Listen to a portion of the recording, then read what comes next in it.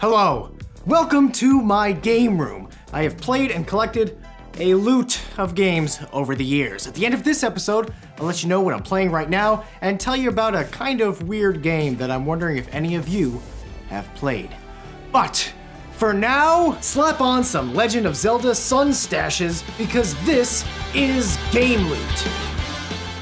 Propel yourself to the top of the vehicular soccer competition with the Rocket League game on Jersey. Then jersey what keys to press after illuminating your gaming rig thanks to the USB powered Pac Man Ghost Lamp. Standard mode phases through 16 different colors, and party mode allows it to blinky along to music. Prevent sickness from falling on you by sanitizing with Majora's Mask Moon Soap. But if you're still feeling under the weather, get under the Fat Chocobo hooded blanket. Or the Moogle hooded blanket. I guess the Moogle's not fat. The fat free Moogle hooded blanket. For a more traditional hoodie that'll make you say wow, there's the World of Warcraft user interface ugly hoodie. An all over print that'll cover you in abilities, spells, and damage. It's the only way to cool down while staying warm. Stay classic with these custom Game Boys from 8-bit aesthetics. These things are completely overhauled from professional painting to backlit or frontlit brand new scratch-free screens, allowing you to finally win the infamous Penguin Wars. Penguin Wars?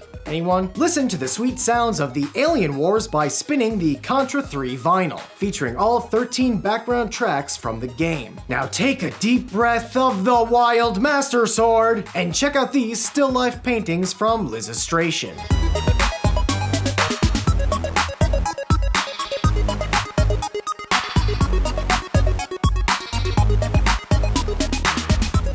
Tyrant Lizard King on your wall by pre-ordering this incredibly detailed Jurassic Park T-Rex bust. And bust out the beats by blasting Chronotorious, a deluxe edition of the Bad Dudes 2009 Chrono Trigger soundtrack arrangement featuring custom artwork. Get to work by using your officially licensed Super Mario Bros. multi-tool.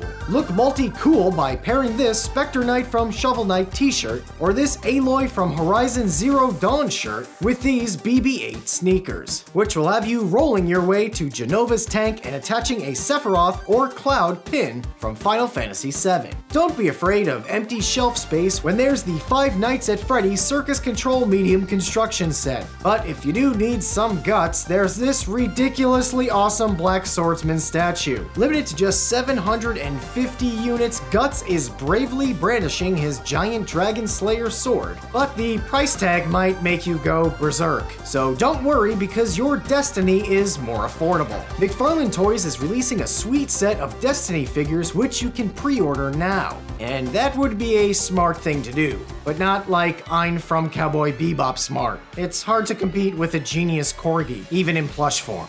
Okay, so what am I playing right now? The answer is da da da da. The Legend of Zelda Breath of the Wild for the Switch. I'm absolutely loving it. It's totally peaceful and serene, and you just explore and see mountains and go to them.